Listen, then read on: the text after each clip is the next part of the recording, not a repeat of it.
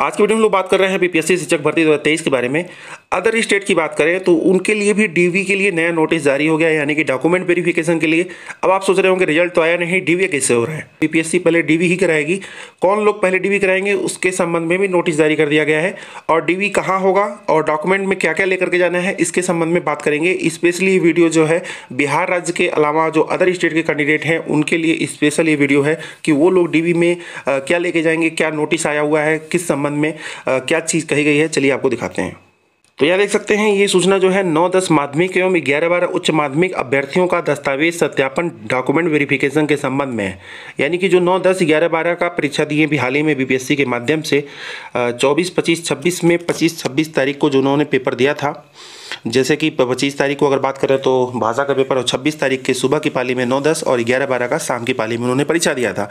ऐसे लोगों का डॉक्यूमेंट वेरिफिकेशन चार सितंबर से बारह सितंबर के बीच किया जाएगा।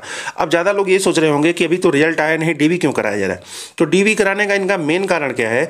ये लोग चाहते हैं कि ऐसे लोग का ही रिज़ल्ट निकालें जो लोग वैलिड हैं। मतलब जो लोग इनवैलिड हैं, जो लोग गलत तरीके से डॉक्यूमेंट अपलोड करके और एग्ज़ाम दे दिए हैं, बहुत सारे ऐसे कैंडिडेट हैं। इसलिए इन्हें ऐसा करना पड़ रहा है, छांटने के लिए इन्हें।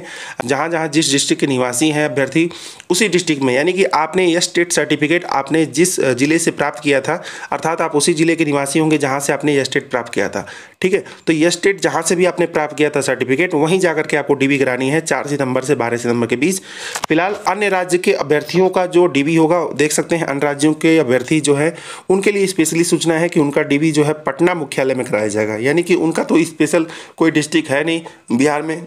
क्योंकि वो अदर स्टेट के हैं तो उन्हें क्या करना होगा? उन्हें पटना जाना होगा और वहीं जाकर के मुख्यालय पे उन्हें डीबी कराना होगा। फ़िलहाल ये जो बाहर राज्य के अभ्यर्थी हैं, ये ऐसे अभ्यर्थी हैं जो ये स्टेट क्लियर है। यानी कि ये पीआरटी के कैंडिडेट नहीं है, क्योंकि अदर स्टेट पीआरटी के भी हैं, जिनका अभी तो हाल ही में परीक्षा हुआ है। लेकिन स्टेट अगर वह वन और टू अगर वो पार्टिसिपेट किए थे हज़ार उन्नीस में जो वैकेंसी आई थी स्टेट की, अगर उसमें पार्टिसिपेट किए थे तो वो लोग अपना डीवी जो है अदर स्टेट वाले जा करके पटना में कराएँगे अदर कहीं नहीं कराना होगा। फ़िलहाल मुख्य जो अभ्यर्थी होंगे, अपना दस्तावेज़ सत्यापन निर्धारित अवधि के अंदर अपने जिला मुख्यालय में कराना सुनिश्चित करेंगे।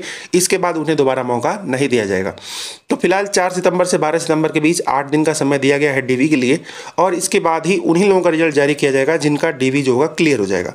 फ़िलहाल ये सूचना उन सभी अभ्यर्थियों के लिए है, जो लोग नौ, दस, ग्यारह, बारह के अभ्यर्थी हैं स्टेट के और जिन्होंने बीपीएससी में हाल ही में पच्चीस एवं छब्बीस तारीख की हुई परीक्षा में आवेदन किया था। फ़िलहाल बात करें पीआरटी का जिन्होंने चौबीस, पच्चीस में एग्ज़ाम दिया था, ऐसे लोगों के डीवी जो है, इसके बाद होगा, क्योंकि जो बीपीएससी अध्यक्ष हैं, माननीय अतुल प्रसाद, उन्होंने साफ़ पहले ही कर दिया, पहले ग्यारह, बारह का रिज़ल्ट जारी करेंगे, फिर नौ, दस का रिज़ल्ट जारी करेंगे, उसके बाद पीआरटी का रिज़ल्ट जारी करेंगे, और इसमें भी कंडीशन है बी और डी का। सबसे पहले डी का रिज़ल्ट जारी करेंगे। अगर बी का मामला क्लियर नहीं होता है तो डी के सीटों का डी कराएँगे, उसके बाद यदि बी का मामला क्लियर नहीं होता है कोर्ट से तो उन सीटों को भी डी से भर देंगे। फ़िलहाल वो अभी आगे का विषय है। फ़िलहाल कोर्ट अभ्यर्थी गए हैं, उन्हें ज़रूर कुछ ना कुछ राहत मिलेगी बी वालों को।